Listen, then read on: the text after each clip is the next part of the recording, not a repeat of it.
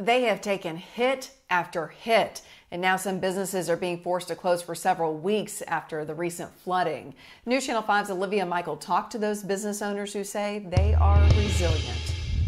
Water level was at reached this high. At LV Luxury Nails, it's not what you can see, it's what you can't see.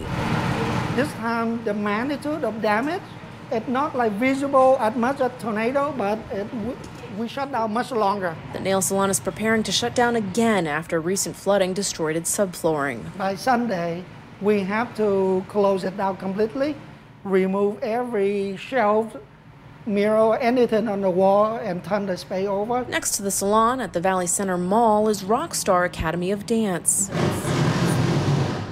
a lot. It's been a lot. It is our fourth flood.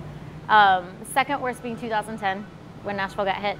But uh, we took on more water this time than we've taken on ever. The flooding reached up to four feet. Well, I'm only five feet, so I mean, it's like shoulder height for me.